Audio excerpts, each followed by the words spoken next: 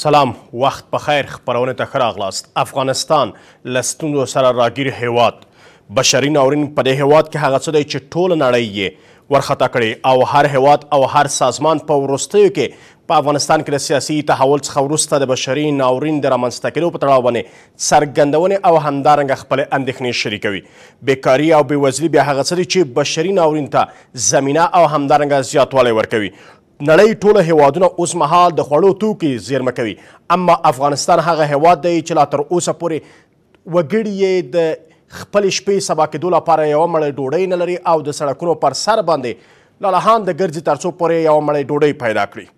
ولی سرپرست حکومت لا تر اوسه پورې دغه موضوع ته تر ډیره جدي توګه باندې پاملرنه نه کړې آیا د مدیریت مسئله ده د کمزورتیا مسئله ده د نړۍ د هیوادونو مسئله ده هېوادونه ملامت دي نړۍ وال باید د افغانستان په دغه مسئله کې تر کومې کچې پورې چې دوی ته مسؤلیت ورګرځي خپل کارونه ادا کړي او کنه یوازې سفرونه دي چې ترسره کیږي افغانستان ته خو د بشري ناورین د حل لپاره کومې کړنلارې تر لاس لاندې شته او کنه په دې مورد باندې بحث کو بحث کې راسره قدرمن مېلمانه دي ژورنالیست او لیکوال محمد آصف وردګ او همدارنګه سیاسي شنونکی حبیب الله جانبدار مېلمنو سره مشه په خیر راغلی وردګ بحث بل تاسو را پیل کړم ولی افغانستان هر کله د بشري ناورین سره مخ هیواد دی که پخوا ته هم وګورو دوه لسیز جمهوریت چې زمونږ یادیږي افغانستان کې هر کله د بېوزلۍ او بېکارۍ کچه لوړه وه اوس مهال بیا هماغه وضعیت دی د بشري ناورین په تړاو باندې هر کله اندېښنې څرګندېږي د هستیختن جل الله شانه په نامه لومړی تاسو ستاسو محترم مېلمه همدارنګه ستاسو ډېرو درنو او قدرمنو کتونکو ته سلام او درناوی د مقدمه مې دې ډېره خوښه شوه ول د ورځې موضوع و مبارکي درته وایم د ژورنالیزم د یو شاګرد سپینګیري په صفت او تاسو ځوانان د خدای ژوندي لري موږ خو ملک درته خراب کا اوس نو جوړوي تاسو څنګه جانب دار صاحب دغه فضا که په یوه جمله کې زه خلاصه کوم د استعمار ناول یې ډرامي دي چې دغه موږ او تاسو د ملت یې د داسې یو بحران سره مخامخ کړي یو د موږ دغه جغرافیه د هغه د هغه افغانستان یو د دنیا بام بل دلته د استعمار هغه اهداف بدن روس لعنتی راغی او را یو نیم میلیون انسانانی خاور ته وسپارل شعارونه و دموکراسی و او را و سره بیرقونه و آخر ايا دربدر افغانستان يو نيم ميليون افغانان شهيدان بيرته لاړل دو په عوض اوس دغه تور استعمار راغي يعني د چکک نه ناوې ته کيناستو په دري کي يو متل دي وي از چکک خي زير ناوه چيشت څه يې وکل موږ ته د دموکراسي شعارونه دي د انسانيت دي بل دي څه يې وکړل څه چې بمونه وي په موږ واچول هغه د ادې بم يې په موږ واچول بم بوبو ورته وايي څه ورته وايي هغه ته د بمونو مور ښه د بمونو مور اقتصاد په مځکه ووایا حتی د موږ غریب مملکت هغه پشتوانه د پیسو هغه هم قید کړي ولی یو فابریکه تا ته جوړه که ټول افغانستان د اوبه دی ټول ته یو فابریکه د برق لري چې برق هغه کې هم زراعت ده د خارج نه یخلې زراعتي ملک لري او بل لري مګر هم ته خیرات غنم د اندوانو د ترکمنستان د دوه ځایونه یخلې څو کار دغه دشت لیلی ده دهغه نه دوخوا ته دبله دښته ده دقندوز نه که ده دامو نه دلته یو هغه راشی ته نه چه افغانستان ته غنم پریږده ته دومنطقی ته ورکوی او بل دلته مهم دادی چه ته په داسی یوه منطقه کی پروت یی دلته اسیای میانه بام دی دلته چین دی چه امریکا ده اوسه پیږی اقتصادي کانکورنس دغه لري هلته روسیه پرته ده هلته هند پروت دی هلته ایران پروت دی هلته لعنتي پاکستان پروت دی هلته بل دی دلته مو اقتصادي مشکل هم دی تاسو باید په دوه پیي دنیا پیږي دغه استعمار هم ډیر نادان نه دي صرف د موږ د بیچاره و خلکو په وژلو کې ډیر هوښیار دي دی لیونیان نه دي چې دلته میلیارد مصرفوي نن ورځ د دنیا په دغه ټول نقشه کې د کره د ځمکې کې نور مملکتونه وو تیل د لودل طلا لږ په خلاصون کې دي هغو شیانو ته چې تر اوسه تا لاس نه دی وروړی او په ټول قوت باندې باقی دی یعنی دنیا تر ټولو لوی سرمایه دار او هغه ملک د مځکې لاندې البته تیل لرې، نفت لرې، ګاز لرې، مس لرې، طلا لرې، زمرد لرې، راجاود لرې، مرمر تیږې لرې، څه شی، څه شی، څه شی، څه شی چې په دنیا کې دي د زغال سنګ په شمول ته ټول یې لرې. میلیاردر د زمانې د تا ملک مهم ګدا پنځه زره کاله تاریخ لره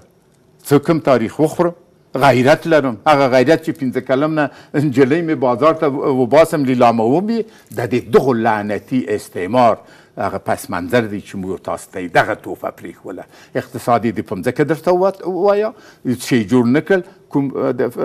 د اوبو برق د بند کوم فابریکه اقتصاد ته پیږي څه حال دی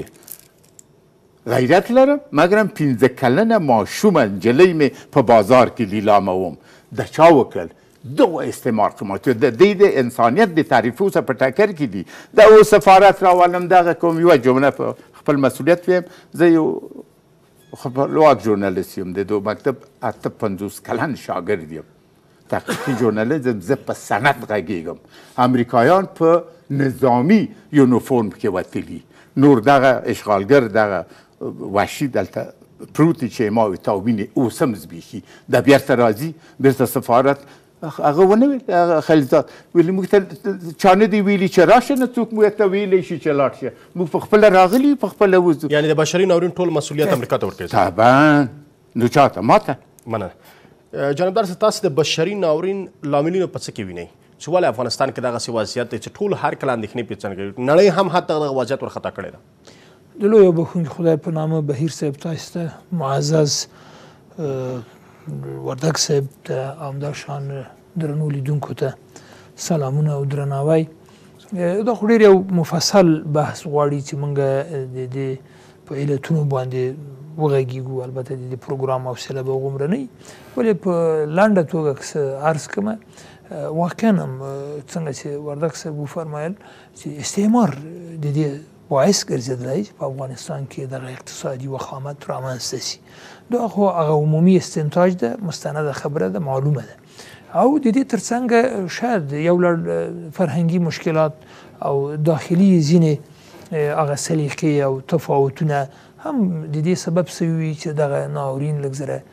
مشدد سي یا زیات سي نو په دې ترتیب سره علتونه په تاریخي پیښو کې پراته دي علتونه د زبرځواکونو او د ځینو منطقوي قوتونو د رقابت نتیجه کې پراته دي چې د هغوی دلته تخریبي رقابت یا هغه نیابتي استخباراتي لوبې مخته بیایي چې ګټې بیا هم هغه سترو طاقتو ته رسیږي او له سمندر نه اخوا قوتونه منفعت د دې لوبې نه اخلي نو دلته دوه اساسي ټکو ته بیا هم باید توجه وسی هغه زمونږ د داخلي عناصرو ترمنځ همغږي ده چې وکولای شي دغه فشار اقتصادي فشار او دغه ناورین لږ تر لږه کم کی او دویمه خبره دا ده چې په سیمه ایزه توګه باندې د افغانستان ډیپلوماسي دا ډول اوسي چې موږ د خپل تمدني حوزې شاملو هیوادونو ترمنځ داسې یو همغږي رامنځته کړو چې آیسته آیسته لاړ شو په ځان د اتکا په لور باندې او دا هیوادونه د یو نوي فرهنګ په خپلولو سره وکولی سو هغه مشترک سوالونه چې د سیمې ته راجع دي هغو ته مشترک ځواب پیدا کی زه په دې باور یم خو دلته یو مسله ده د بحرانونو مدیریت هم باید مطرح سي ولې حکومتونه نه توانېږي چې بحرانونه مدیریت کړي د جمهوریت کې هم ویل کېدل چې تر نوي سلنه خلک د افغانستان په فقر کې ژوند کوي اوس مهال هم هماغه سروې وړاندې کیږي چې تر دې کچې پورې خلک د فقر تر کرښې لاندې ژوند کوي د حکومتونو مسؤلیت څه دی ګور وردک صاحب ډیره ښه تشریح کړه ما خبرې بلک زره اضافي کس وسوه که خپلواک او ملي حکومتونه موجودي او نړۍ یا خصوصا استعمار افغانانو ته دا مجال ورکړی وای چې افغانانو خپل چارې په خپل سمبال کړی وای نن به موږ له دې معضلې سره نه وو مخامخ نو خبره دا ده چې دلته د مداخلو نتیجه ده د استخباراتي لوبو نتیجه ده او موږ افغانان قربانیان یو د دې لوبو افغان خو په دې لوبه کې تقصیر نه لري دا بلکې د نړیوالو د استخباراتي او استعماري اوږدمهالو مخودو د تعقیب نتیجه ده چې په افغانستان کې نننی وضعیت منځته راغلی په غیر دغه کې خو افغانستان ښه جغرافیایي موقعیت لري چې یو ښه تجارتي مرکز د ټولې اسیا لپاره ګڼل کېدلی شي ښه انساني نیرو لري او هغه طبیعي منابعو ته چې مخکې اشاره وسوله چې څومره پریمانه ذخایر دلته وجود لري خو دغه مجال تا ته چا نه ده درکړی چې د دې مدیریت وکړي خپلې چارې خپله سمبال کړي او وکولی شي چې نړۍ سره د نړیوالو حقوقو په چوکاټ کې تجارتي تعامل هم وکړي او دیپلوماټیک تعامل هم وکړي دغه مجال ته موږ اړتیا لرو اوس چې څنګه موږ کولای شو چې دغه مجال یا دغه موقع یا دغه اپورتونیټي څنګه رامنځته کو د موږ په داخلي همغږي پورې هم اړه لري او په سیمه ایزه او منطقوي همغږي پورې هم مننه وردک صاحب دلته بحث پر دې وسه چې مدیریتونه د بحران باید په دې ډول چې کله یو هیواد مستقل او آزاد وسی د لاسوهنې پردې پکې نه وي اوس مهال خو بحث همدا دی په افغانستان کې ویل کېږي چې افغانستان یو مستقل هیواد دی اوس مهال خپل نظام لري ولې په نهه میاشت کې د بشري ناورین مدیریت نه څه حتی د ډېرېدو خبرې مطرح شوې بخښنه غواړم زه یو ځل بیا تکراروم دغه ناولې فضا استعمار خلق کړې ده او دا استعمار په یوه ورځ کې نشي خلق کولی دوی ته کلونه کلونه کار کار شوی تاریخ موږ تاسو هغه دی په هغو به نه راڅرخو بل لعنتی تحمیلی جنګ دغه فضا په ما او تا باندې تحمیل کړې ده دا لعنتی جنګ زما او ستا نه دی دا په ادم په ما او تا باندې تحمیل شوی کله وایي یو تعداد چې ملل متحد زه یوه پوښتنه کوم زه یوه پوښتنه کوم کوم ملل متحد مل هغه ملل متحد چې د امریکا یو سیاسي څانګه ده و یو سیاسي دفتر یې دی ول اکثریت مصرف یې امریکایان پر کوي د اوله خو موږ تعداد به کې خو ډېر اتیا فیصد مصرف یې ورکو اوس هم تقریبا فعلا هم دېرش څلوېښت فیصد مصرف امریکایان ورکوي دغه ملل متحد چې دغه دوه ویشت کاله شل کاله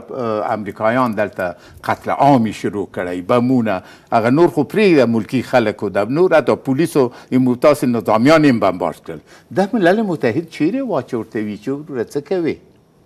دا ملل متحد چیرې وا چې په عراق کې قتل عام وا یو ملت برباد شو ولې په نظامی بورد کې د عراق او د سوریې اسرائیلو ته خطر وا قتل عام یې کا ده اوس څه حال دی ده ملل متحد چیرې وه چیرې ویده وه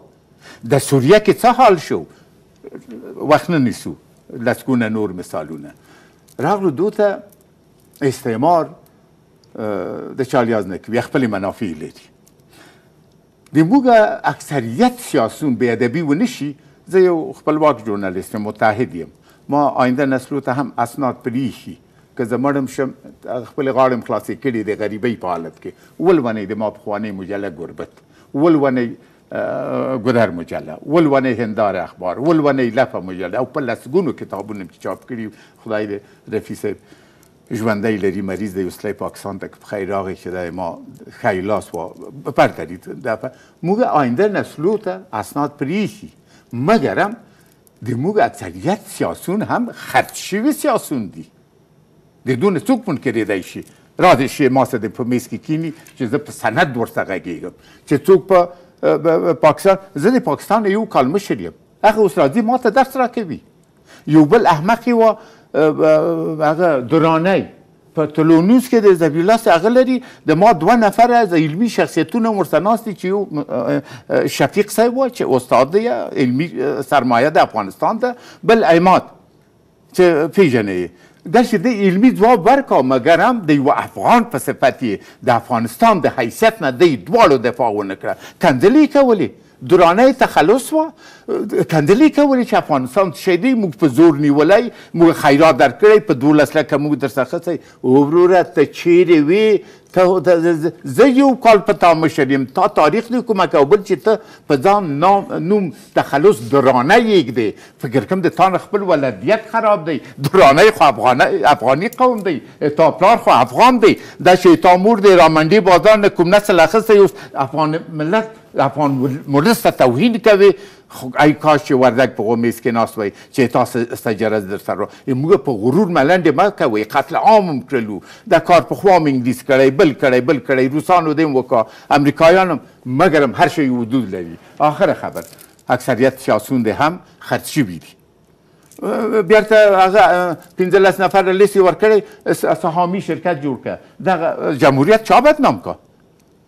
د بیت خپل رئیس جمهور ونه ویل چې 50 فیصد عواید چور چپاول کیږي وزیر مالیه ونه ویل چې ټول ګمرکات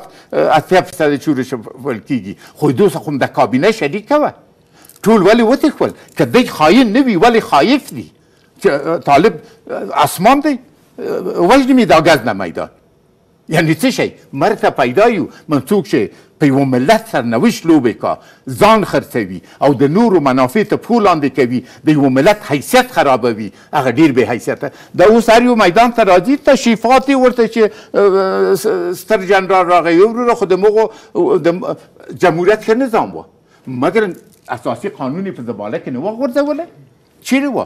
رئیس جمهور دی یو یو والی نشوی مقررولی درست کنه صلاحیت نه درلوده ارګ یو جمهوریت سپیدار بل جمهوریت خلیلی بل جمهوریت دوستم د بل جمهوریت مې جمهوریت قانون اساسی ډیر ښه اساسی قانون زه اوس هم پیشنهاد کوم چې لطفا امارت هم دغه امارت نوم ټینګ ساتي د جمهوریت د ځنې لري کې امارت اسلامی افغانستان هیڅ ماده د اسلامی فرهنګ څخه په ټکر کې نه ده کوم جمهوریت دغو دغو سیاستوالم دغو ټیکه دارانم دو شرکت سهامی هغه جمهوریت بدنام کا دا اوس تخي او بل ورځ ګورم په میدان کې د دې ورته ولاړ دي د مغو خلکو ته دغه دغه کوي زه په امارت غږ کوم که دا مشاورین واخیستل امارته داسې چې جمهوریت بدنام شو که بدنام یې نه کړئ دغه دی بیا به وردګ وي که نه وي یا به ترور وي یا به ژوندی وي زه ما خپلې غاړې د یوه مسلمان په صفت خلاصې کړې که غواړي چې جمهوریت غوندې بدنام شي دغه مشاورین ونیسئ په غېږ کې ولې دا خو ته هم پوهېږې زه هم پوهېږم جانب بدار صاحب نه پېژنې دغه ملک چور نه کا د ډالر چا وتښتول د بلند منزل چا جوړ کړل په د دوبیو په لاس انجلس راکه کمري کمره دې راکه د ما په مصرف. څه؟ د تا کمرې د ما په مصرف. ټکټ ټول په ما. زه تابیم استرالیا ته، دوبۍ ته، جرمني ته، اروپا ته، کاناډا ته، یو امریکا ته مې قسم کړی چې نور نه ځم ولې په لوړ میدان کې ودرول چې زه هغه اسناد تا ته درکم مګرم ته به دغه متحد ژورنالیست وي چې راځي به په دغه خپل تلویزیون کې به بیا نشر اتمن اتمن مهرباني صاحب منه جانبدار صاحب یو بحث ده د بشري ناورین که بحث کیږي بس ټول پړ پر بهرنیانو باندې ور واچول سوه د افغانانو مسؤلیت هم دلته راګرځي چې افغانانو د خپل افغانانو لپاره چې نن ورځ تر نوي سلنه پورې د فقر تر کرښې لاندې ژوند کوي هغو کوم احساس د مسؤلیت کړی دی هغو کوم کار د دغه افغانانو لپاره کړی دی دلته باید یو تفکیک وجود ولري یو د ملت مسله ده چې په کل کې د مونږ سرلوړی د قدر وړ ملت هغه ته سوال نه راځي کېږي په دې باره کې ولې یو د هغو کړیو حلقو او یا د ځینو کاذبو ملي څېرو په اصطلاح د هغو دریځونه دي چې یا د هغوی کړنې دي چې نن سبا وردګ صاحب ډېر ښه وغږېده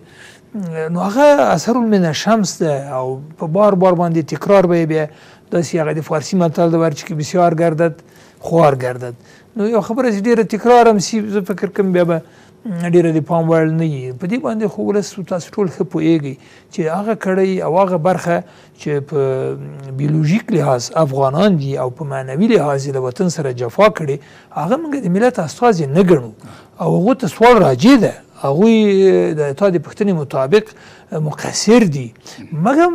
ښه د حل لاره چه ده اوس ښه خبر دا ده چې موږ په آرامو اعصابو په دې فکر وکړو چې موږ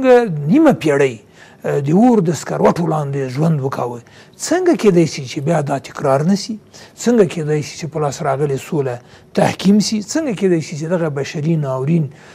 په خپلو وسایلو باندې حد اقل هغه فشار کم کړو یعنې که هغه یو مړی ډوډۍ لرو دا څنګه خپل ګاونډي سره خپل همسایه سره خپل خپلوانو سره وویشو په دې ترتیب به دغه فشار کم سي او هغه د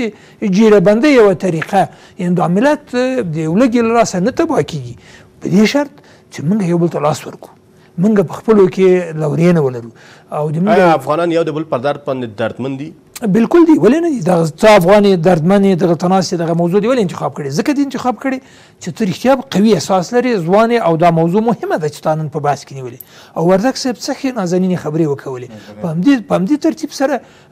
زه هم ستاسو پر ادیب کې په همدغه احساس کې ځان شریک کړم یو شمېر زیات افغانان دا اوس بهر میشتي افغانان پریمانه مرستې کوي نظر په وسه باندې یا لس ډالره یا شل یا زر لیکن د خپل کورنۍ ته تاسو پیږي چې په میلیارډ ډالر افغانستان ته لم دغه طریق نه عاید ده او دوی ته نه چا وظیفه ورکړي نه کوم فشار لاندې دي نه کوم مجبوریت لري دا طالبانه د افغاني احساس پر بنسټ دا مرستې کوي دا کومکونه کوي دغه سپینګیری نن ولې راغلی دغسې دوړو او ګردونو او مشکل یوازې ته خو افغاني احساس ده نو له دې نه در قیاس کړه چې افغانانو سره په کل کې دا احساس موجود ده دا ډېر مېړني خلک دي دا ډېر غیرتي خلک دي ولیکن چې استعمار مجال ورکا موقع ورکا اوس مهال خو ورته زمینه د دې برابره سوې ده اوس خو دغسې الحمدلله یو شرایط راغلي خو دلته یو همغږي ته ضرورت ده ملي مفاهمې ته ضرورت ده موږ باید امارت اسلامي سره هم همغږي سو همکاري وکوو دوی سره مرسته وسي د هغه نواقصو په لرې کولو کې چې د دوی په حکومت کې ورته د ځینو لخوا ګوته نیول کیږي بهانې باید بیرون ته ورنه کړل سي د بهانو ورکول موږ ته ډیر قیمت ته تمامیږي او بهانې باید له منځه یوړل سي منه وردک صاحب دلته د همغږۍ مسله وسوه چې د ولس او حکومت ترمنځ باید همغږي وسي ترڅو پر بشري ناورین ته د پای ټکی کېښودل شي اوس مهال سرپرست حکومت څومره ولس سره همغږی دی او څومره په دې باندې توانېږي چې دغه بشري ناورین نه مهار سي؟ ګوري که یو ملي حکومتونه د یو ملک حکومت د خپل ولس همغږی نه وي او ته ته حکومت ویلی نه شي دا خو په تا تحمیل دی حکومت د ولس خدمتګار نه د ولس بادار د ولس خدمتګار د حکومت تعریف څه شی دی دوه جملې دي د هغو ملک د اتباعو امنیت اساسي قانون تطبیق امنیت ته یو حدود بد نه دی نسبت سابق ته زه بلارم خوندوس ته یعنی په یو ټلیفون اوس په کابل کې د څوک نشي وجلای ممزه د موقت حکومت نور ډیر غزول طرفدار نه یم ورور هر څومره ولی موقت حکومت ته ویلی هم نشي باید یو ره حکومت شي بیا د حکومت په تعریف وغږیږي او د حکومت نه توقعات ولري دا زر باید هغه حکومت اعلان کا وزارتونه ټول دی دی نوش جان دي شي زه هیڅ هغه نه لرم وزارتونه استاد دلته ناست دی یو سیاسي پوست دی نه مسلکي دا نور مسلکي خلک دې ورسره مشوره کې ونیسي مشورې دې واخلي بل دې واخلي دغه خلک چې راضي شي افغانستان یې تباه کړی په میدان هوایي کې ورته تشریفات دي زه څلور میاشتې کېږي مطبوعاتو کې دغه ما ته څوک وخت ملاقات نه راکوي نه احتیاج یم نه معاش غواړم نه درې موټر غواړم نه امتیازات غواړم که دی غواړي معاش به هم زه ورکم مشوره ورکوم چې دی په مطبوعاتو حاکم نه دي دی مشاورینو ته ضرورت لري داسې نه چې اخلاص نه لري زمینه د پخوانیو هلته داسې مساعده کړي هر څومره زر موقت حکومت ته د پای ټکی کیږدي حکومت اعلان کی او اساسي قانون اعلان کی دا د حکومت تعریف دغه شی دی ته کله موقت یوه میاشت لس میاشتې پوره شوې ګرچې د دی ګناه هم نه ده د افغانستان پنځه څلوېښت کلنه تراژیدي د دوو استعمارو دغه هغه هم ډېر داسې د ټوکو کار هم نه دی مګر هم ټول وزارتونه دی ته د مبارک وي مسلکي کدر شه دي ضرور نه دی چې ته وزر کړې یو تعداد چې تخي دي د دو ځاینغه په زارۍ راغواړي د تا په افغانستان کې علمي کدرونه شته کوي چې نشته دی ورکو اتا پانتون ډک دی د علمي شخصیتونه علمي شخصیتونه د یو هیواد علمي او ملي سرمایه ده ته لرې دلته دوی ته ولې موقدو ته د کار ورکړی چې څه خلک راغوړېدی که دومره غیرتي ولې وتښول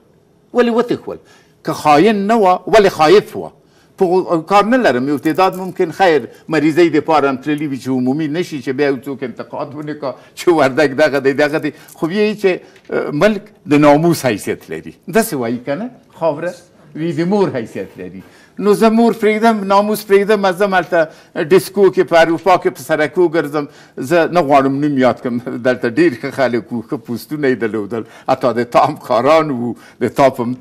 زه نه وایم نور دومره ته پوه شي ودره هلته ولاړې د پارک عکس واخله د ایفل عکس وروره ملک دې برباد دی دغه تاته د مور د ناموس حیثیت لري زه څلور وارې ما د زړه عملیات کړی دا دسمال د شوقه نه تړم دلته مې جاغور نشته په لاس مې عملیات و چې زه ولاړم د ریښه ورته وګوره تیری تیری دی دغه مې لاس دی په ډیر مشکل راغلم د امارت نه بل هیله لرم چې لطفا د اماراتو پروازونو سره قرارداد وکړئ یو تعداد خلک راځي یو تعداد ځي طیارې چې راځي ټکس اخلئ مسافرین راځي اسعار راځي رفت آمد شروع کیږي د تاسو اعتبار بین المللي کیږي زه په ډیر مشکل راغلم فرض باسه چې د کله چې د بیکارۍ او بیوزلۍ تاسو هم وینئ د سړک پر سر باندې د بیکارۍ کچه وینئ بالکل د بیوزلۍ کچه هم تر کچه وینئ چې خلک راځي د مو... خلکو څخه د لس افغانۍ او د یوې ډوډۍ توقع لري چې ورته واخیستل شي د حکومتونو مسؤلیت دې برخه کې ولې ولې حکومت آیا د سرپرست حکومت توانېدلی نه دی که دې برخې ته متوجه نه دی او پر څه پورې تړی دغه یو شی دی چې راځي لږ انصاف نه کار واخلو وغږیږو ډیر شیان دی نه دي خلک چې دی ته دغه ناول یې تراژیدي په میراث پاتې ده استاد هم داسې ده که نه د تراژیدي څلوېښت کاله د دوو استعمارو دی خو پرون راغلل د ډیر په دی مه ورچوئ ولې دوی ته هم داسې یو شی پاتې شول او بل خو ځای موږ ما ما وړاندې وویل چې جمهوریت کې هم خلک تر دې کچې پورې په- بېوزله و بېکاره ول کارونه ورته نشته له دې سره چې ډېری پیسې نړیوال افغانستان ته ورکړي ټول د استعماري ډرامه ده د دغو استعمار ناولي دغه کښتۍ چې موږ ته شوی جمهوریت د کوم چاره نه درلودله ټول په پف بند و چې یو یې نه وای غوښتی سهار به نه وه خو ما د وخته وویل چې کوم جمهوریت کوم صلاحیتونه قانون خو په زباله کې پروت و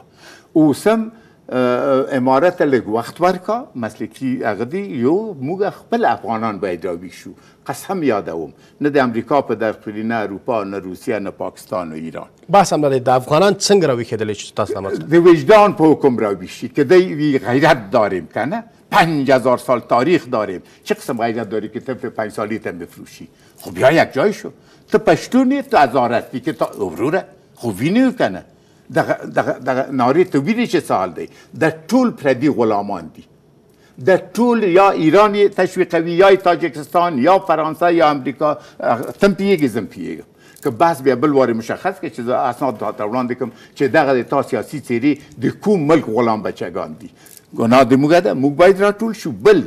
امارت هر څومره زر دغه موقت حکومت موقت کی اساسی قانون به اعلان کی زه پیشنهاد ورته کوم استاد د جمهوریت قانون په منطقه کې نشته په ټوله په دې منطقه کې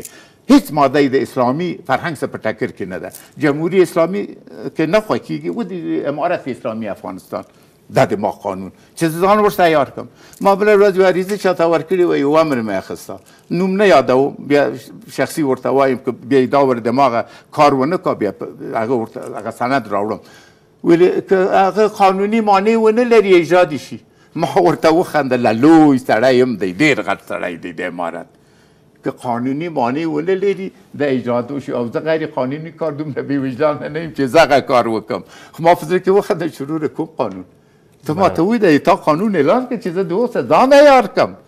د ټوپک په خوله د ټوپک په شپېلۍ خو د قانون دوام نه لري امارت دی باید ملي خاینان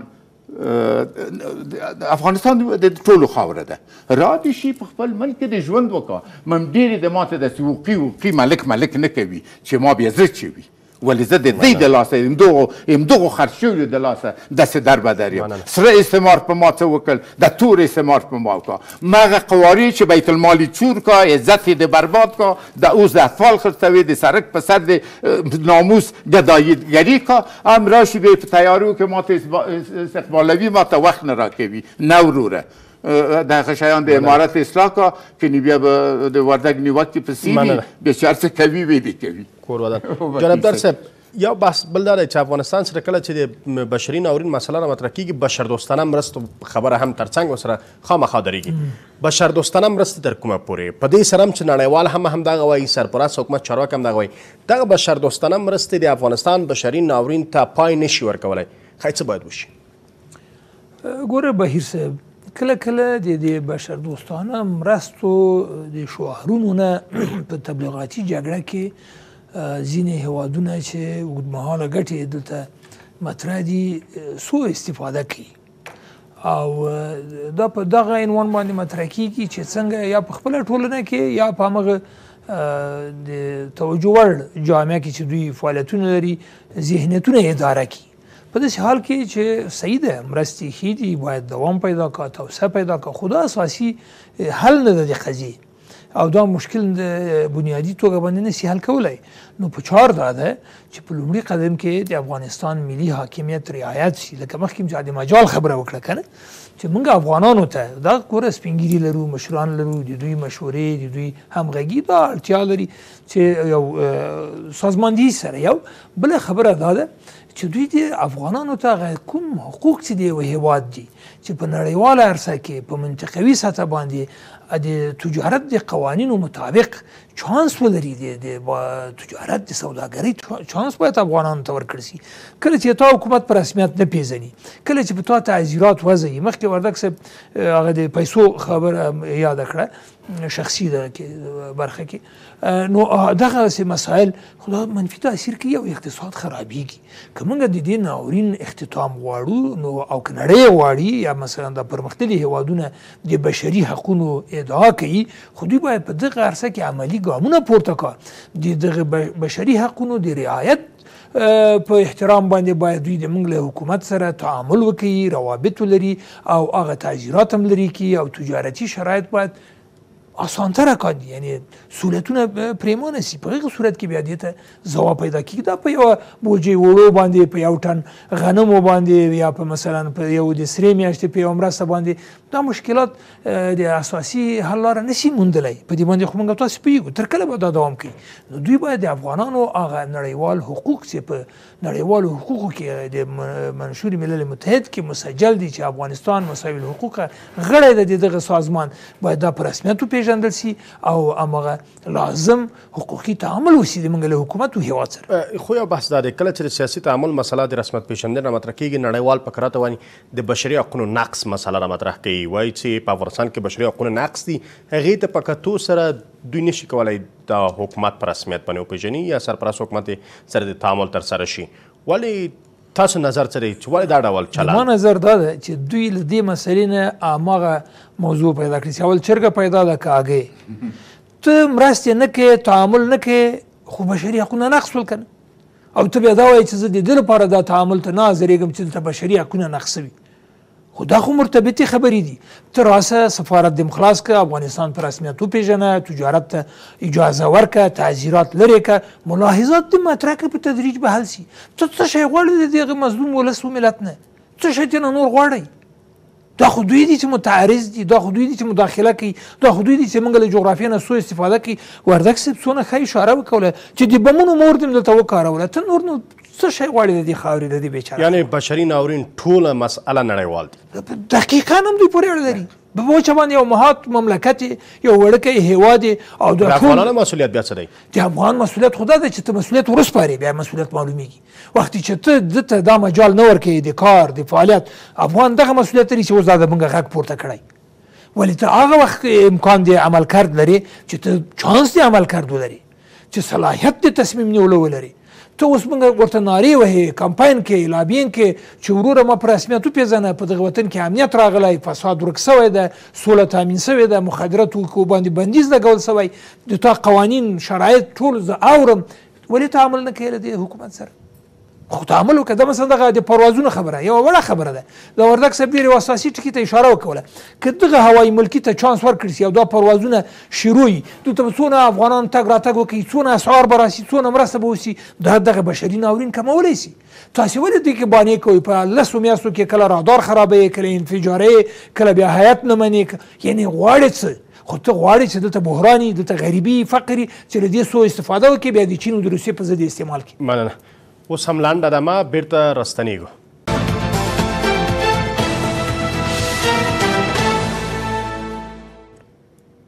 بیا هم ښه راغلاست وردک صاحب د ټوله پاړه که چیرې پر نړیواله اچول کېږي اوس مهال نهه میاشتې هم د سرپرست حکومت تیریږي فکر کوئ دوی ته مسؤلیت نه راګرځي مطلق ولې نه راګرځي ولې ځکه هغه سوځي چې ور پرې بل دی نړیوال څه کوي خو منافع لري د ما د تا د غمه نه دي مړه دومره احمق هم نه دي چې میلیارډونه یو ځای مصرفوي د خپلو منافعو په خاطر کار کوي زه باید څه وکړم دغه هم ډېر ښه سوال دی یوه جمله چې د استاد د خبرو په تایید سل په سلو کې بشري حقونه دغه ناولي استعمار تر پښو لاندې کوي موږ څوک یو چې تر پښو لاندې کړو ولې تر پښو لاندې کړو د ادې بم هم په ما باندې اچوي دا یوه موضوع افغانان که غواړي چې دغه برباد شوي عزتونه بیرته په ځای کړي واحد صد واحد سنګر او که نه کوي دا نو د موږ ګناه ده خو دا مثلا بیا حکومت راګرځي چې واحد صف او واحد لیدلوری جوړ کړي باید دا کار وکړي دا کوونکي بیا حکومت نه دی حکومت یعنی څه شی؟ حکومت د چا بادار نه دی، حکومت خادم دی د یوه ملت. حکومت چې ماته کار ونه کا، د ما عزت، د ما د ناموس، عزت، دغه خوندي ونه کا، د ما امنیت ونه نیسي، حکومت څه شی یعنی؟ حکومت خو تعریف لري، ډېر اسانه دوه جملې دي، امنیت د اتباعو، د اساسي قانون تطبیق، ختم. نور د وجدان په حکم د هر ملک د هغه اوسیدونکي کار دی چې خپل ملک ته د حیثیت په خاطر څه وکړي د تا کار دی د ما دی منتها د ما وړاندیز تاسو ځوانانو ته دغه دی چې ځوانانو په لیاز د خدای موږ درته خراب کا تاسو یې جوړ کړئ په دو کې زم ځان ته نشم برات ورکولی چې غټ غټ غږېږم چې ما هیڅ نه دي کړي که زه دومره وه ولې داسې کېدل د ما په شمول ټول پکې مسؤل یو د څلوېښت کاله یو بل هغه دا بیا تحقیق کړه استاده تم ما واورېدل فیسبوک کې دغه نازدانه خلک چې امارت راغواړي چې مشاورین یې کړي چې د دینه جمهوریت غوندې دی بدنام نکی خدای دې پردې کوي دغه مشوره شډیو نه دې لږ لرې وګرځي وي د زه خو نوم اخلم د چا پروا نه لرم لاس یې خلاص هر څوک چې هر څه کوي د مخابراتو وزیر دې کوم بانک ته تللی دا خبر په فیسبوک کې ما ولوستل او بعضې دوستانو ما ته وویل از دې جنګ کړی چې دغه عدد مې د یاده وتلی خدای مې دې غاړې نه بندوي څلور لکه دي که څلور میلیونه ډالر دي بانک ته ویی چی دای ما پیسی راکه هغه مدیر ورته راغلی که وزیر صاحب صبر که مقه پیسه را ما فعلا نداریم کم کم برت میتیم دوس اعلانجه کړی او خبر غال مغال او جنگ ته جګه شوی دغه تحقیق وکړه چی دا څنګه چل دی او میډیا ته راکش که نو امارت داس خلک ډیر جګ جګ موږ ته نکینوی دغه ډمان موږ پیژنو او زه زوریګم او او زوریګم زی برباد کړی د ما ملي سرمایه یې چور کړي د ما عزت یې برباد کړی دلته اس اسلامي هیواد دی زه اسلامي فرهنګ لرم زه افغاني فرهنګ لرم زه عقیدې لرم زه تاریخي ویاړونه لرم د مانه هیڅ شی جوړ کړل ویم زه مې پنځه کلنه نجلۍ ماشونه بازار ته وړم د لیلام په خاطر د غیرت دی د پنځه زره تاریخ کال تاریخ دی څه کوي دا د احمد شاه بابا او د میرویس نیکه د بی کمال لمسیان د ما په شمول موږ باید را راویښ شو بس دی انګلیس څه کوي بل دغه دیورنه بل ورځ مرکه و د تا ټول ملت ته توهین کو او د ما نیمه خاوره د هند نیمه خاوره د اوسه بله ورځ په انګور اډې کې افغانان وژلي د کوم قانون د یهودیت دی چې یو کله یې نیم کړی جنابه یو ورور دلته دی یو دلته دا د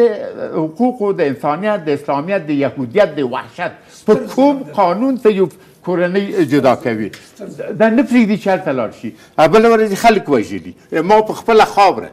او بیا پاکستان نه تا تر غټې غټې خبرې وردګ صاحب که چېرې وضعیت دغه روان وي موږ کومې خوا ته ځو بشري ناورین سره ګیر یو اقتصادي مشکلاتو سره ګیر یو بېکاري اوج ته رسېدلې بېوزلي اوج ته رسېدلې څه کومې خوا ته روان یو خودکشۍ خوا ته خلاص ځان غرغره کړو بس یعنې که دې کوم لږ داسې نوره بیابي جوړه شي که موږ غیرت ولرو باید په خپله ځانونه اعدام کړو نور موږ ته څه پاتې شول څه پاتې شول نور عزتونه خو برباد شول درې میلیونه دې هغه ته وسپارل خاورو ته په لکونه دې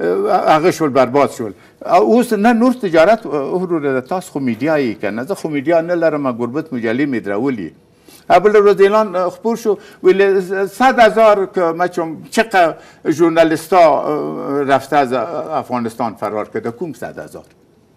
موټروان کلینر په میدان هوایی کې کراچۍ هم پریښودم جورنالیست شو خبرنګار شو د تا په نامه هلته تجارت کیږي دلته هم د تا په نامه دکاندارونه دکانونه جوړ کړي دي ولې تاسو د خپل عزت نه دفاع نه کوئ او میډیا ته میډیا دی تا ته وایم د تا آریانا ته وایم د دکانونه دکانونه حساب واخلې چې د شل کاله تا په ما تجارت کړي تا ما ته څه کړي دي د ما په شمول بس همدا ده په دې باندې یو ورځ حتما بحث کوو وردګ صاحب چې ولې دا ډول وضعیت دی ولې د رسنیو څخه ګټه پور دا اوس هم دی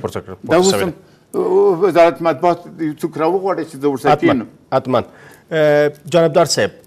بشري ناورین حتما د سیاسي وضعیت څخه اغیزمن کیږي د سیاسي وضعیت سیوری مستقیم پر بیوزلۍ او په فقر باندې غورځي د افغانستان سیاسي وضعیت ولې دغه ډول حاکمیت تر حاکم شو که چیرې مسؤلیت راګرځي حکومت ته مسؤلیت حکومت داره چې په سیاسي حوزه کې باید دا ډول وضعیت حاکم کې ترڅو پر بشري ناورین باندې سیوری ونه غورځول سي بې وزلۍ او بیکارۍ باندې سیوری ونه غورځول سي ځکه وضعیت د خوالي خواته بلاړ سي افغانانو ته هم راجع ده سیاسونو ته هم موضوع راجع کیږي چې سیاسیون باید دا ډول سیاسي وضعیت افغانستان ته راولي چې وکولی سي افغانانو ته هغه کې ښه خدمات هوسا ژوند افغانان یو مړی ډوډۍ ولري وګوره سیاسي وضعیت خو یعنی که ستاسو منظور دا یي چې زمونږ سیاسي چارواکي څه باید وکړي یا د دوی د رویشونو اغیز په دغه بشري ناورین باندې څه شی ده تر ډیره حده پورې له همدغه امکاناتو نه چې په داخل کې موجود و یوه ښه ګټه پورته سوې مثلا په ګمرکاتو کې هغه چور چې ده مخنیوی سوی په محاکمو کې هغه پخوانی یو ډول استبدادي فساد چې مسلط و هغه مخنیوی سوی ګمرکاتو کې همدا ډول او د شاروالیو په نواحیو کې موږ ګورو چې ډیر ښه تلاشونه روان لري خو بیا هم ولې خیر بې وزلي کچ نه راکمېږي ولې بشري ناورین نه لري کوو چې دا بې وزلي په دومره پراخه کچه موجوده ده چې په دې شلو کلو کې بنیاد ایښودل سوی او دا په دغه وړو عوایدو باندې دفتن نسی کولای چې لمنځه لاړ شي اوس موږ دې ته ضرورت لرو چې یا په معادنو کې هغه هم زمانګیره ده یعنی دفعتا عاجل دغه نسی کولای جواب نه لري نو یو مرحله د مشکلاتو یا د جری یا د هغه جری باندې دغه یو مرحله به موږ تیرو ډیر یعنی بیا هم باید نړیوالو ته وویل شي چې نړیوال مرسته وکړي ترڅو نه نړیوالو ته نه تاسو وګورئ چې سکه امارت اسلامي خپل انکشافي بودجه او خپل هغه بودجه لازمه دا یې تصویب کړي او منابع ورته دغه کړي دي په خپلو امکاناتو هیڅ بهرنۍ مرستې ته کومه هغه نه ده کړې درخواست یا توقع یې نه ده کړې دا د د افغانستان هغه توانمندي ښیي چې موږ کولی سو لیکن په دا خپل کور کې چې څه لرو دا له یو بل سره باید شریک کړو خپلو بېوزلو وروڼو ته په کلي په کور په ګذر په بانډه کې هم دا مرستې وسي او هم له امارت اسلامي سره همغږي رامنځته سي او اقتصادي برخه کې زمونږ هغه کارپوهان چې دي یا په چارو کې چې ډیر دغه لري تبهر لري د هغو په مرسته باندې له همدې داخلي منابعو نه موږ کوشش وکړو چې حد اقل دغومره عواید ولرو چې د موږ د اطفالو د فروش لپاره دغه زمینه برابرې نسی او دغه شرم باید موږ منابع څخه باید حکومتونه ګټه واخلي بله حکومتونه باید له منابعو یا سرچینو څخه ګټه واخلي حکومت باید د خپل ولس سره په همغږۍ کې دغه پوښتنې ته چې نړۍ په موږ دغه ناورین تحمیل کړی واحد ځواب ولري او موږ دغه مشکل باید تحمل کړو بحث که چیرې د همغږۍ بحث مطرح سي د ولس سره خو دا ولس نه سي راتلی تر حکومت پورې حکومت باید ولس ته رجوع وکړي دا صحیح ده دا یو طرفه جاده نه ده دواړه متقابل اړیکه ده موږ باید د ځمکې مالیه ورکو موږ باید د باغونو څخه افغانان د مړې ډوډۍ نه لري د ځمکې مالیه لکم ځات خور مالیه هغه څوک په چا باندې نه کیږي مالیه قانون موجود ده څوک چې عاید نه لري لغنه څوک مالیه نه اخلي ولې څوک چې عاید لري لغونه خو باید مالیه واخیستي او په داسې سختو شرایطو کې موږ ځینې فوقالعاده امکانات هم باید مسایل مطرح کړو ځکه چې په موږ یو یو فوق العاده ناورین مسلط سوی یعنی فوق العاده منظور دا نه چې خ منظور دا چې مشدد ناورین او زحمت ده دې ته باید اقدامات هم هم دغه ډول ووسی باید افغانان دا قبول کړ مثلا که موږ د د کور د صفائی هغه په وخت تحویل کو که موږ مالیه په وخت تحویل کو د دکان مالیه په وخت تحویل کو د ځمکې مالیه په وخت ورکو دا د موږ داخلي عواید زیاتوي او بل مهمه خبره دا ده چې تاسو په میلیونو افغانان بیرون دي او له دې میلیونونو نه په لکو نسبتا ښه ژوند لري چې دوی باید دې ته لابینګ یا کمپاین وکړي په بخاري چې کوم افغانان دي لکه مخکې چې دغه د راتګ او تګ خبره وسوه تاسو فکر وکړئ که مثلا یو میلیون افغانان چې په اروپا او امریکا او استرالیا او کاناډا دې ځایو کې دي چې زر ډالره کمک وکړه دا زر میلیونه سو یو میلیارد او که د دې نیمایي هم څومره په دې وضع تاثیر لري نو حد اقل څلورمه حصه دا یو ډیر غټ عاید ده چې دې ته باید وزارت خارجه توجه وکړي چې په دې برخه کې موږ څنګه افغانان هڅولی شو چې وروره نن د تا وطن په مزیقه کې ده نن د تا کلی له مشکل سره مواجه ده نن د تا قریب عزیز دوست ده په مشکل کې مواجه ده د تا لس ډالره سل ډالره پنځوس ډالره دلته یو تغییر راوستی سي دا چې وایي قطره قطره دریا میشه د ډیرو امسا دیو ګډای دغه به هر میشتي افغانان هم یو مقدار دا فشار کمولی سي داخلي مالیه کې انتظام دا هم دا فشار کمولی سي او منګه سرپجویي کول دا به زده کو ګوره د جنگ له شرایطو راوتلی یاستو تاسو د ویتنام تجربه وګورئ د نورو دغسې د جنګ نه وروسته هیوادو تجارب وګورئ چې دوی څه کړي دي حتی د جیره بندۍ موږ باید دغه د ګداګرو لښکر چې ده د دې مخنیوی وکړو خپل ډوډۍ باید سره تقسیم کو دا مسولیت عام ولس تم راجع کیږي ګوره زه دغه د امر بالمعروف وزارت عرض کوم چې تا نه ډیره مننه چې موږ ته د کلمو د دعاګانو او د دې پښتنه هم کې وراخې خو ته دغه کار هم وکړه چې د دغه ګداګرو د مخنیوي لپاره شرعي مکلفیت د متمول افغانانو څه شي ده دغه پښتنه وکړه دا هم د کار برخه ده یعنی د محتسب وظیفه تنه د لمانځو د روزې پښتنه باید نه وي دغه مسایل که ته پښتنه ونه کړي د تا بیا هغه نورې کړنې خو اوس خو دا خبره انټرنیټ سته مساجدو ته تګ سته هر سړی په لمانځه پوهېږي او په روژه باندې پوهېږي خپل شرعي مکلفیت پېژني نو راځئ تاسې په هغه برخه کې اقدامات وکړئ چېرته چې ضرورت ده چې اړینه ده دا لښکر د ګدایګرو د سیاسرو د ماشومانو د دې د مخنیوي لپاره تدابیر باید ولري حکومت موږ سره مرسته کوو حاضر یاستو ټیم دی جوړ کا د دې لپاره مشورې دی وکړي جرګې دی وکړي شوراګانې دی جوړې کا چې دا حل سي او ممکن یو څو میاشتې په بر کې ونیسي میاز دوه درې ویانه مننه وردک صدل ته د اعتبار مسله او همدارنګه د شفافیت مسله ته هم بحث وشو یو د رونتیا مسله کچېر د مرستو مسله کیږي په جمهوریت کې د رونتیا نشتون دا د شفافیت برخې ته ډېر زیان رسولی و. څنګه افغانانو اوس بیا پر دې باندې اعتبار وکړ چې که چېرې مرستې ترسره کېږي هغه په روڼتیا سره تر خلکو پورې رسېږي؟ ایا دغه شونی دی دغه کار چې په روڼتیا سره مرستې تر خلکو رسېږي؟ دا باید په عمل کې ثابت کا. موږ خو په شعارو باندې در به در شو. موږ خو صرف شعارونه ورکړي.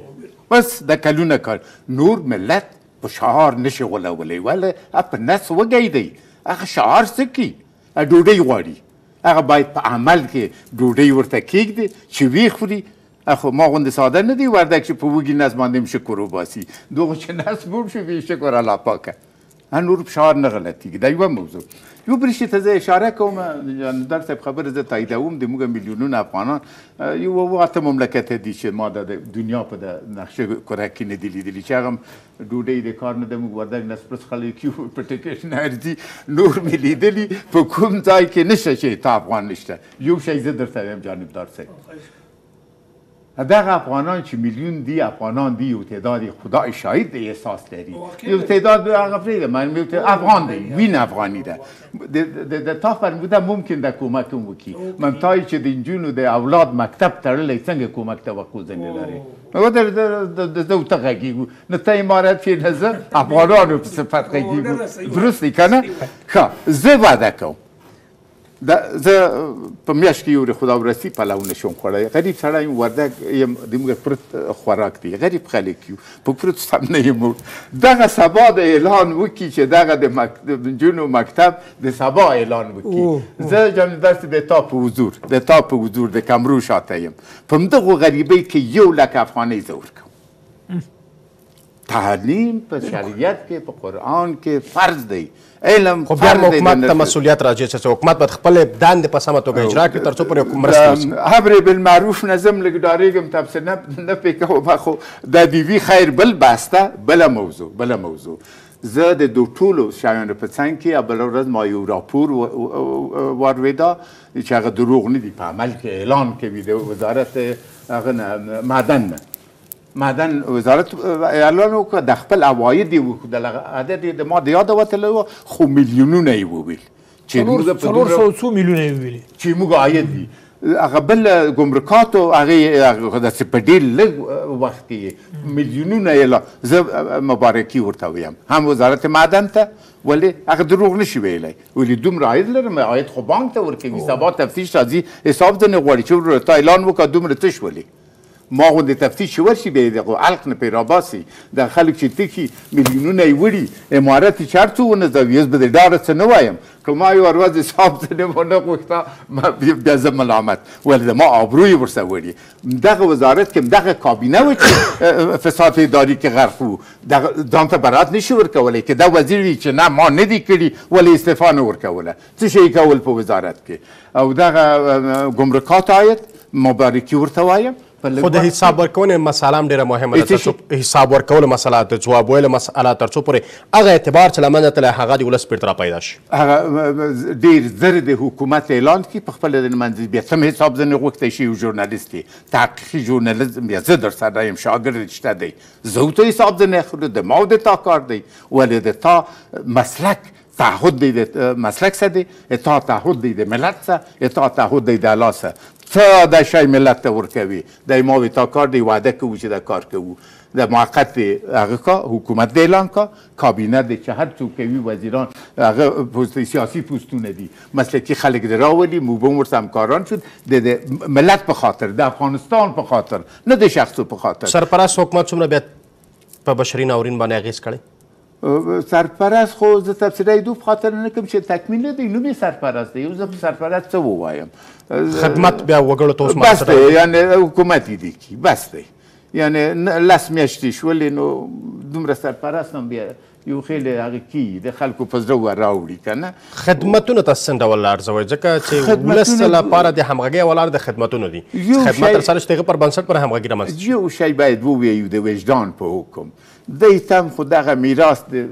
لږ د پخوا نه هم پاتې دی ولې دا ټولې مردارۍ په دی مه ورچوه دا مې ولس هغه باندې قضاوت کړی دی په جمهوریت کې څه ترسره شوي دي له پیسو سره بیا هم خلک په بېکارۍ کې ورته زه ولس یم یو خپلواک ژورنالیست یم زه ورته یم چې وروره لس میاشتې دې پوره کړي حکومت اعلان کړه موږ درسره یو موږ درسره یو د موږ نه کار واخله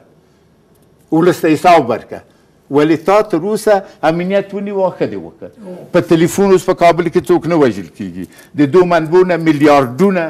افغانۍ اعلان کوي د تا عاید دي ته ډیر هغه لري معدن لري هغه چور چپاول شخصي هغه شیان تا یو زمرد په لندن کې په دوه دانی و هغه چې تر اوسه شغه وړي په 15 دیش میلیونه استرلینګ پاونډه خرج شو او د تا پنجشیر و بدخشان ځنې ډک دی څه شی نه لري چې ته نه لري او دو ته دی باید متوجه شي میلیاردران دي راوی دی باسي او د بشري ناورین د حال په برخه کې یو بل مسله ده چې باید وزګارتیا ته پای ورکړي د دندو زمينه برابر شي حکومتونو مسولیت د دندو زمينه برابر دي چې پر بشري ناورین پای حکومت نو تعریف څه شي شو نو دوی په خپله کوي داسې خو هم نه کېږي چې زه د مکتب د اول صنف نه د کتابت او د وارده او صادرې نه تر وزیره پورې ټول جناب ملا صاحبان کې نو ملا عالم دی دین دی سلام احترام ورته لرم مګر مسلک مسلک دی یو ملا نشي کوي ما څلور ورځ د زه عملیات کړی ما د زه عملیات کولی شي نه حکومتداری دغه ملک اسلامی ملک دی اسلامی فرهنګ دی موږ مسلمانان یو سلام سلام سلام مګرم حکومتداری تعریف لري موقت حکومت د زر بس کی حکومت د اعلان کی په وړو رتبو کې دی مسلکي خلکو ګاماري موږ ورسره ملګري یو وزارت دې نو شي جان معینیت دې دی ولایت دې دی ریاست دې دی دغه ټول د غټ غټ دې دی د غواړي کارونه دې موږ ته راکړي ول د موږ چل ده دی موږ موږ ورته ملګري یو او عاید لري وزارت معدن اوس متوجه شوی کافي معدنیات لري د یو مثال عینک د تابس دی دا نور خو پرېږده وخت راغلی بیا به یار زنده او صحبت باقی دغه عاید د دې د قدر وړ وي ولې یو ملک په اقتصاد باندې په پښو درېږي نه په شعار باندې جنبدار صاحب او د غلو مخه دی ونیسي د غلو مخه دی ونیسي د دغو مشاورینو چې جمهوریت یې خراب هغه مشروع باندې برباد کا چې خدای نخواسته امارت برباد نه یا مسله د اعتبار د سرپرست حکومت او د نړیوالو ترمنځ ده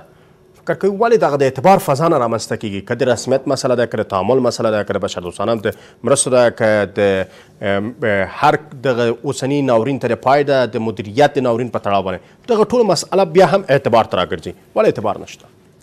ښه دا خو ډېره پخه پوښتنه ده، له دې نه مخکې اجازه راکړئ چې یو ټکی عرض کړم. د ناورین د کمولو لپاره صحیح ده چې کمیسیون جوړ سوی د راستنېدونکو افغانانو په خاطر کنه دغه کمیسیون دې د دې ناورین د کمولو لپاره هم کوشش وکړي چې د راستنېدونکو افغانانو سرمایې هم راستنې کا یعنی مهمه خبره دا ده چې دوی ته یا په تشویقي شکل یا د نورو تضمیناتو په شکل داسې یو فضا هم په سایکولوژیک او هم په عملی لحاظ مساعده سي چې هغه سرمایه چې د افغانستان وستل سوې ده لکه څنګه چې محترم وردګ صاحب ویلي ځینې هغه غمی چې